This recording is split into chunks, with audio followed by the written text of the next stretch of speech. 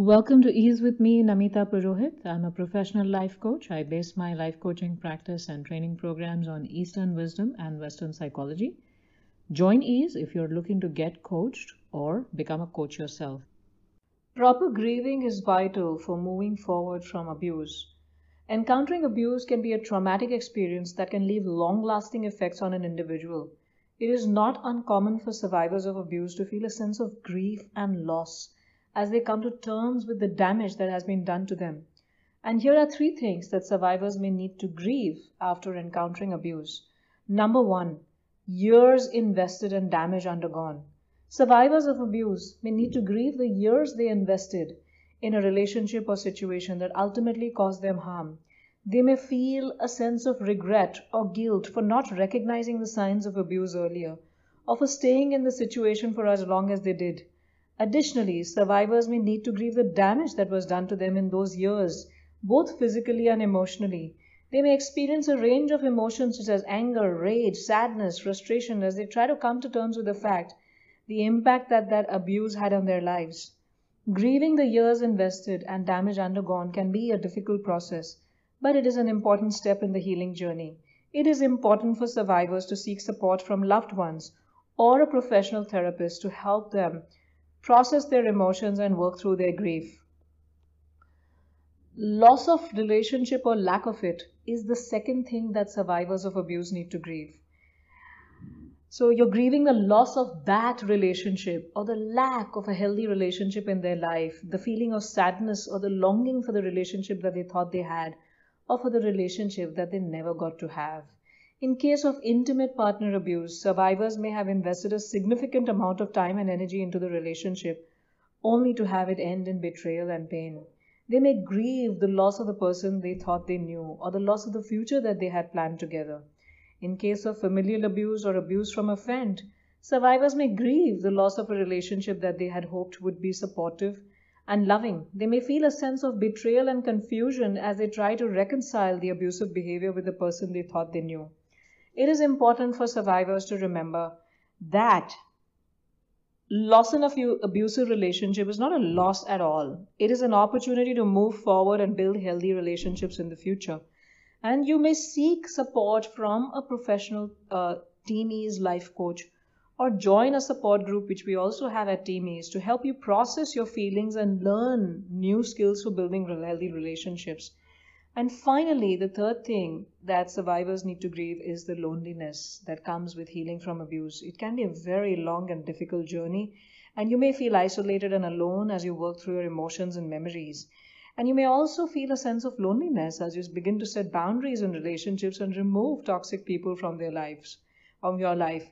And it can be challenging to rebuild a support system and find new healthy relationships after experiencing abuse. And it's important for survivors to know that you're not alone there are many resources available, such as one on one coaching, group coaching, uh, support community at ease, and we, we can provide you the connection and support during your healing journey.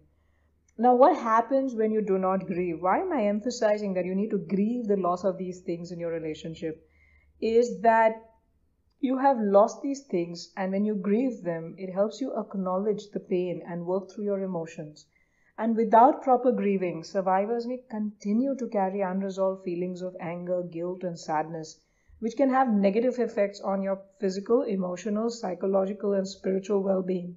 Now, when you don't properly grieve the years invested and damage undergone, then you may struggle to move on from the trauma and experience symptoms of post traumatic stress disorder, sleepless nights, waking up with palpitations, fearful of certain smells, colors, names, uh, so many different things, and just losing your sense of self and confidence, and a lot of anxiety as well. And similarly, now, if you do not grieve the loss of a relationship or a lack of healthy relationship in your life, you may continue to experience feeling loneliness, isolation, low self esteem, and it becomes difficult then to form new relationships and it can negatively impact your sense of self worth.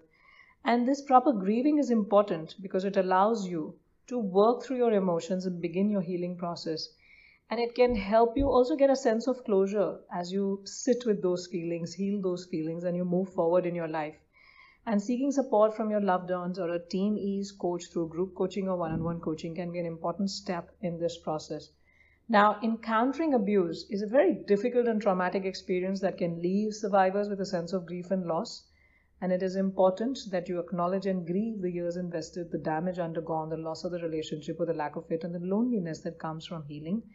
And with proper support and self care, survivors can move forward in their healing journey and build a brighter future. Now, as you try to practice these things, if you need help if you need support if you need coaching if you need you need someone to help you you know follow a stepwise process and to help you be confident in your own self so that you know you're on the right track. Have a place to discuss have a place to talk have a place to learn. Then please consider joining our life coaching membership the ease life coaching membership. We have different tiers.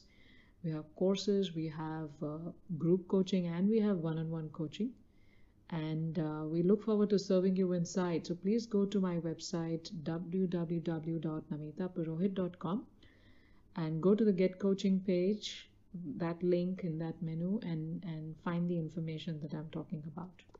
And we look forward to serving you in accelerating your journey of becoming emotionally secure and stable and self partnered and growing and glowing within your own self.